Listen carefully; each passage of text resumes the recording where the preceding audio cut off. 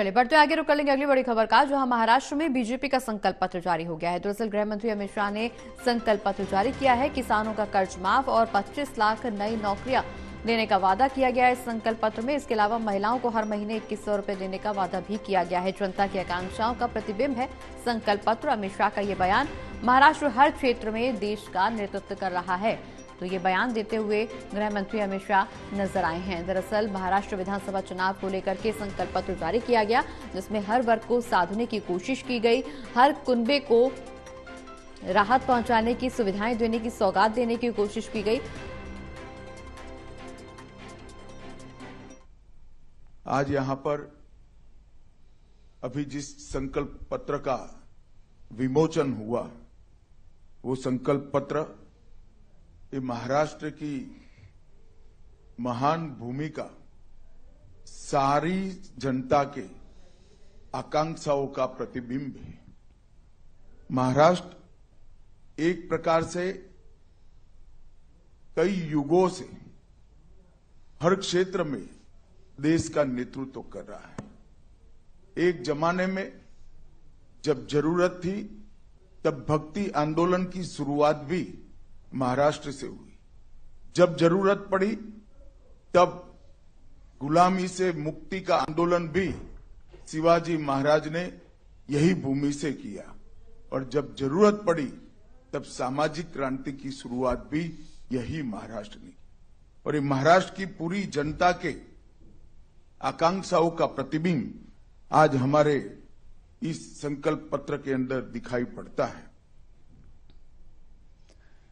तो बीजेपी का महाराष्ट्र विधानसभा चुनाव के लिए संकल्प पत्र जारी हो गया है और इस दौरान अमित शाह का बयान सुन रहे थे आप, जहाँ उन्होंने साफ़ तौर पर इस बात का ज़िक्र किया कि जनता की आकांक्षाओं का प्रतिबिंब है। ये संकल्प पत्र, किसानों को कर्ज माफ़ 25 लाख नई नौकरियाँ, महिलाओं को हर महीने इक्कीस सौ रुपये देने का वादा इस संकल्प पत्र में, संकल्प पत्र में किया गया है और अब देखना ये होगा कि संकल्प पत्र में जो घोषणाएँ की गई हैं, जनता उससे कितना प्रभावित होती है, कितना जुड़ाव महसूस करती है? महाराष्ट्र के विधानसभा चुनाव के नतीजे क्या कुछ होंगे? ये एक बड़ा विषय बना हुआ है, चूँकि राजनीतिक दल लगातार जनता को साधने की कोशिश करते हुए नज़र आ रहे हैं। ज़्यादा चर्चा करने के लिए हमारे साथ assistant editor Lalit Narayan Kandpal phone line पर जुड़ गए। ललित जी, जनता की आकांक्षाओं का प्रतिबिंब बताया है संकल्प पत्र और इस दौरान हर वर्ग को, हर कुंबे को साधने की कोशिश की गई है, जिससे ऐसे हम पहले भी ज़िक्र कर रहे थे कि लगातार हम बीजेपी के घोषणा पत्र का अगर चर्चा करें तो हर कुंबे को साधने की कोशिश की गई और महिलाओं को इसमें खास तौर पर तवज्जो दी गई। महिलाओं को हर महीने इक्कीस सौ रुपए देने का वादा किया गया है और जनता अब इस संकल्प पत्र के माध्यम से कितना जुड़ाव महसूस कर पाएगी, कितना लाभ मिलेगा जनता को, ये तो एक देखने का विषय है, लेकिन जनता का क्या कुछ नतीजा होगा, जनता का क्या कुछ रुझान होगा, क्या कुछ उनका झुकाव होगा, अब ये बड़ा मसला बनता जा रहा है। आ, बिल्कुल प्रगति आपने सही कहा कि जिस तरीके से आ, हम देख रहे हैं कि महाराष्ट्र में भी भारतीय जनता पार्टी ने अपना घोषणा पत्र जारी कर दिया है और घोषणा पत्र जारी करने के साथ ही जिस तरीके से हम चर्चा कर रहे थे पहले जी। तीन चीज़ें तो सबसे अहम रखी हैं भारतीय जनता पार्टी ने किसान महिला और युवा। जी। ये दरअसल भारतीय जनता पार्टी के हर उसमें है। और इन तीनों को लेकर बड़ी घोषणाएँ की हैं।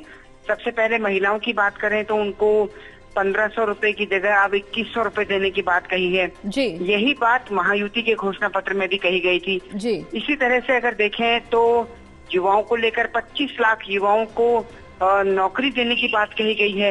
ये भी घोषणा पत्र में शामिल है। जी। इसके साथ ही अगर देखें तो किसानों के लिए एक भावांतर योजना लेकर आने की बात कही गई है। जी। ये भावांतर योजना वही योजना है जिसकी शुरुआत शिवराज सिंह शिवराज सिंह चौहान ने मध्य प्रदेश में की थी। जी। इस योजना में होता दरअसल ये है कि अगर किसी फ़सल की एमएसपी दो हज़ार रूपए प्रति क्विंटल है और अगर उसकी खरीद सत्रह सौ रुपये में होती है या अठारह सौ रुपये में होती है तो ऐसे में सरकार जो दो सौ रुपये का डिफरेंस है वो किसान को पे करती है। जी। तो ये दरअसल इस तरह की स्कीम है। और महाराष्ट्र में किसानों का मुद्दा हमेशा से ही अहम रहा है।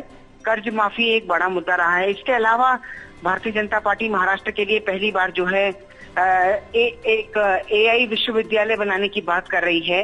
तो ये भी अपने आप में एक नई बात है। और ये इसका असर जो है वो केवल देश के लिए नहीं बल्कि सॉरी महाराष्ट्र के लिए ही नहीं बल्कि देश के लिए भी फ़ायदेमंद होगा। तो ये सारी चीज़ें हैं।